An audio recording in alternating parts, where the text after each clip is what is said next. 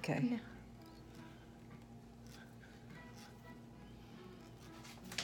That's pretty cool. Yeah. It doesn't even hurt. You don't even feel it. That's weird. How'd you learn how to do that? Mm, I did.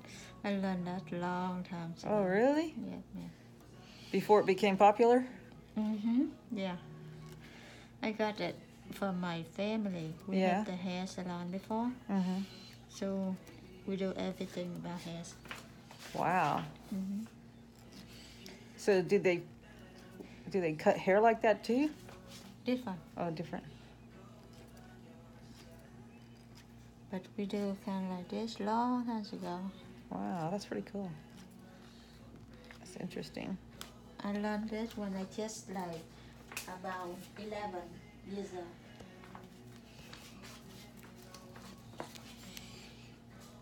Am I in the way with the camera? Yeah, that's Okay. good. I'm gonna show my sister. She'll freak out. Uh-huh. And can I have your hand? One hand, you pull your hand like this. Uh-huh.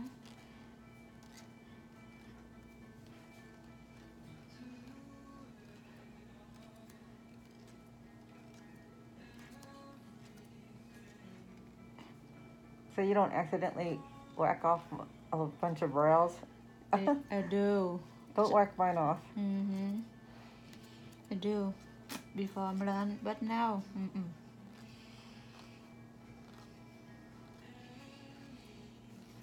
See your hair fall off. You can feel, huh? Mhm.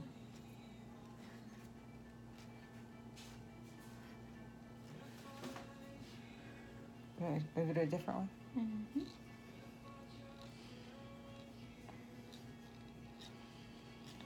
I'm good with this side. Okay. I, I need this side.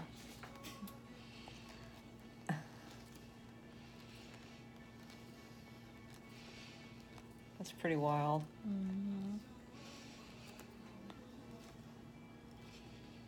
I didn't even know what you were doing when you first started doing it. I thought, what are you doing? You're already doing it?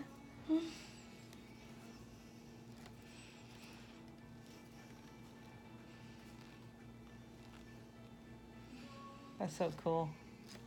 Yeah, I'm good. You're done already? Not done, Oh. but almost. Almost. Now, do, does it take longer for them to grow back if they were they're wa- uh, they're threaded than if they're waxed, or is it about the same? Uh, to me, about the same. Yeah, you good. You can turn off camera. Okay, so I turn it.